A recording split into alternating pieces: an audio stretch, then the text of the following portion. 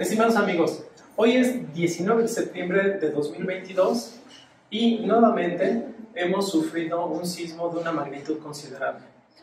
En Arquimagen, nosotros estamos preocupados por la estabilidad y la seguridad de cada uno de ustedes en los inmuebles que habitan.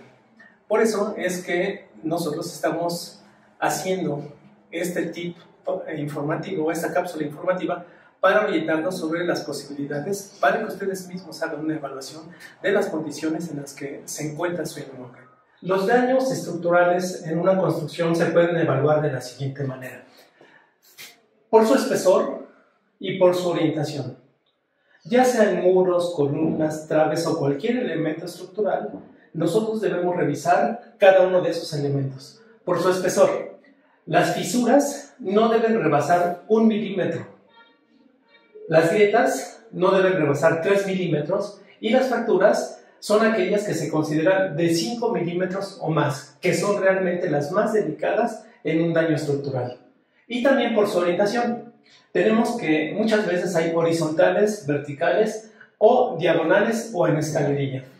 Regularmente las fisuras, grietas y fracturas que son horizontales y verticales en un elemento estructural son por cuestiones constructivas o por juntas entre elementos estructurales o constructivos, como muros, columnas, muros y traves o muros y piso.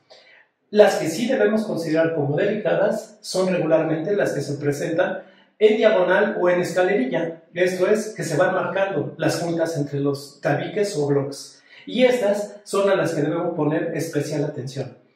Nuevamente, e insistimos en arquimagen, que es conveniente que tú hagas una evaluación, pero es mucho más importante que si tú detectas que hay daños estructurales de consideración, contrates la visita de un experto para que haga una evaluación a fondo y profunda.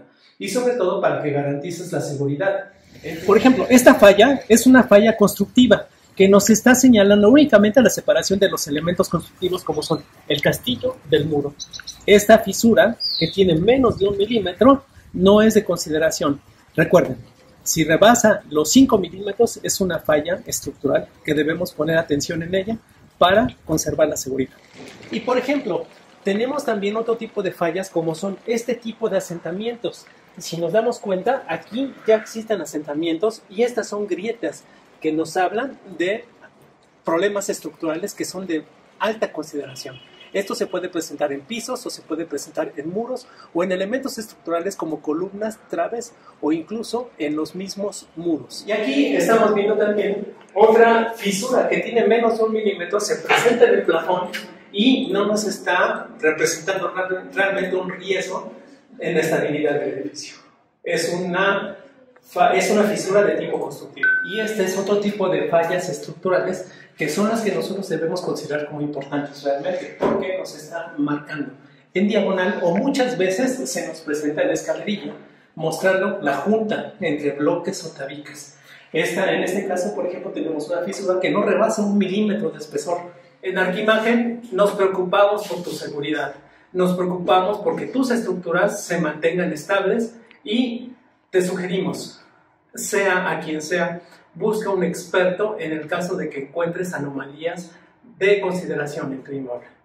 Recuerda, en Arquimagen, imaginación en tus espacios, estamos para servir.